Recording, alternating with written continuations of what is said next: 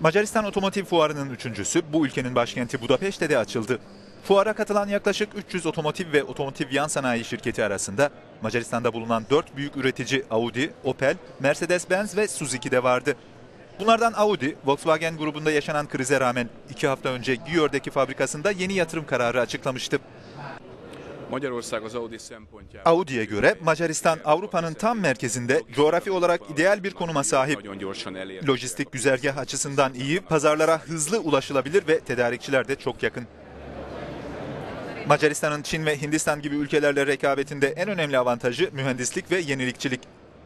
Nitekim otomobil üreticileri Audi ve Mercedes-Benz bu ülkedeki bazı üniversitelerle sıkı işbirliği içinde. Eğer sürücüsüz otomobil geliştirmekten bahsediyorsak, örneğin Continental, Bosch ve diğer pek çok firmada yüzlerce Macar mühendis çalışıyor.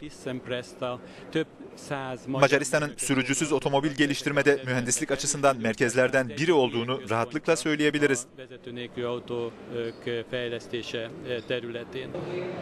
Macaristan Yatırım Geliştirme Ajansı verilerine göre ülkede 2014 yılında %3,5 büyüyen gayri safi milli hasılanın yaklaşık %10'u otomotiv sektörü faaliyetlerinden elde edildi. Macaristan'ın ekonomik büyümesinde otomobil endüstrisi büyük rol oynuyor. Üretim ve ihracatta anahtar sektör. Bu sektördeki 100 istihdam dolaylı olarak 235 yeni istihdam yaratabiliyor.